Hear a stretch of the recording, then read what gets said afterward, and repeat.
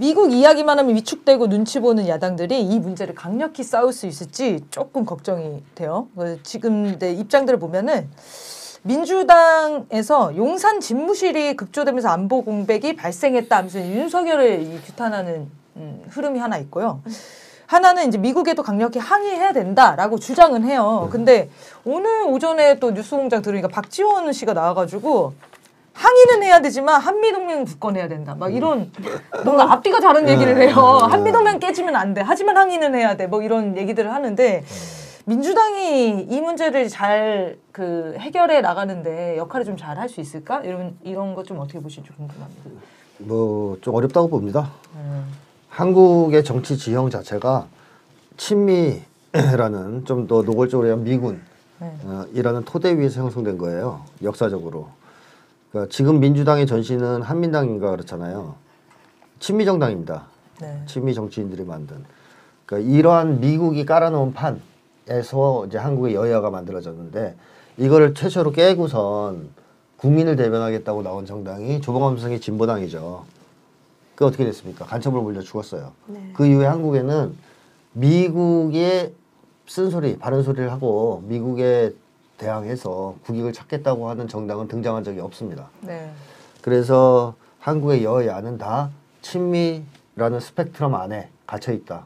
역사적으로. 음. 그렇게 봐야 되고 야당 정치인들 중에서는 극소수의 사람들만 이 문제, 즉 한미 동맹이 실질적으로는 동맹이 아니고 이건 종속관계다, 음. 불평등하다. 음. 해서 한미 동맹을 정상화시켜야 된다고 생각했던 또 그런 차원에서 나름 힘을 썼던 노력을 했던 사람은 딱 두 명이에요. 김대중 전 대통령과 노무현 전 대통령이죠.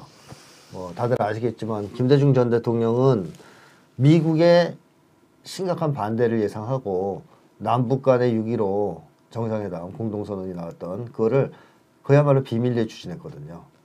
그리고 미국에 일방 통보했습니다. 음. 그건 정말 그 당시에는 미국이 화를 많이 냈다 그래요. 음. 저는 미친 거 아니냐 뭐 이런 식으로. 그래서 이제 미국 갔을 때 디스맨 소리까지 들어왔죠. 아, 그렇죠. 예. 근데 어쨌든 김대중 전 대통령 그런 정도로 미국 말 다 듣고 내가 미국을 쫓아다니면서 정치하지는 않겠다 하는 입장이 있었던 분이고 남북이 힘을 합치면 뭐 외세 의존하지 않고도 다 이제 잘 살 수 있다 하는 철학을 가졌던 분이었고 노무현 전 대통령도 미국에 할 말은 하겠다. 물론 이제 당선된 뒤에 이제 미국이 길들이기를 하자 네. 상당히 이제 약화되긴 했지만 그래도 상당히 미국과의 관계에서는 대등한 관계를 형성하기 위해서 노력을 했던 정치인입니다. 근데 그 이후에는 그런 정도의 정치인은 등장하지 않았죠. 네. 한국 사회에.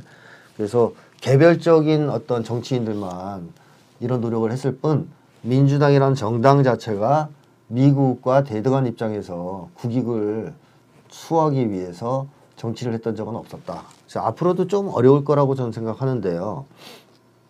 그런데 문제는 민주당이 지금에는 좀 생각을 해봐야 될 때가 왔어요.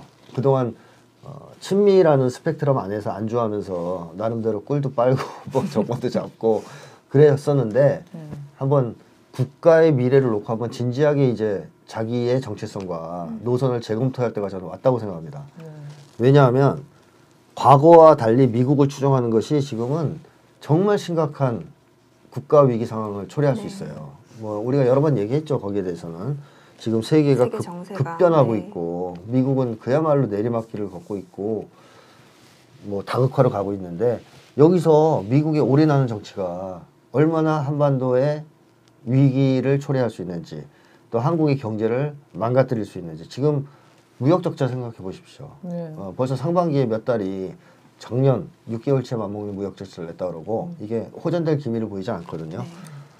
그러니까 미국은 지금 어떻게 보면 한국을 완전히 탈탈 털어서 한미일 동맹에 끌어넣어서 전쟁의 돌격대로 쓰고 경제는 경제대로 다 털어먹을 생각을 하고 있어요. 네. 그러니까 이걸 그대로 방치하면 국가적 위기 상황, 전쟁 날 가능성이 있다는 것이고 네. 경제도 엉망진창이 될 겁니다. 네. 그래서 지금은 민주당이 한미동맹 우선주의, 음. 맹신주의, 그리고 뭐 한미동맹도 아니고 아까도 얘기했지만 이게 종속적 관계잖아요. 네. 이런 거에 매달려서 박지원 씨 같은 얘기하면 안 되는 상황이에요. 큰일 나죠. 없죠, 옛날하고 네. 틀려졌다 이거죠 상황이. 아마 김대중 노무현 전 대통령이 지금 만약에 살아계셨다면 그리고 대통령이었다면 굉장히 강력하게 지금은 탈미 정책을 취했을 거라고 저는 예상합니다. 네. 이런 상황이었다면. 그러니까 한미 동맹이 굳건해 질수록 지금 전쟁 위기예요. 네. 어, 왜냐면, 어려워지고. 어, 왜냐면 미국의 지시하에 움직일 수밖에 없기 그렇죠. 때문에. 한미일 동맹이 친해지니까. 근데 이제 여기도 계속 쓰시는데 항의를 한다고 동맹이 깨지진 않, 않는다 뭐 이런 이야기를 하, 하시는데요. 동맹을 깨자는 게 아니고 정상화해야 된다는 음. 겁니다. 정상적인 그 평등한 국가 관계를 만들어야 되는데 그렇게 하려면은 동맹 깨질 수도 있다고 봐요.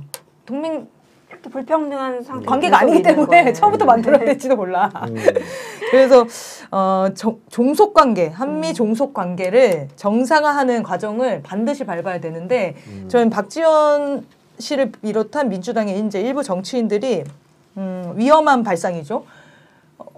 어, 미국에 항의는 할 건데 동맹은 강화할 거야 이렇게 얘기한다는 거는 항의를 어느 정도 하다 끝난다는 얘기예요. 음. 그냥 신용만 네. 하겠다. 어, 사과와 재발 방지 대책을 어떻게 그럼 요구할 겁니까? 음. 그럼 미국이 또 강요할 거란 말이에요. 이렇게 한미 동맹 어려운데 또 협박할 거고. 그럼 또 거기에 굴복하게. 됐죠. 그리고 저는 이제 민주당이 미국에게도 강력히 항의해야 한다 이렇게 주장을 하는데 민주당이 항의를 하면 돼요.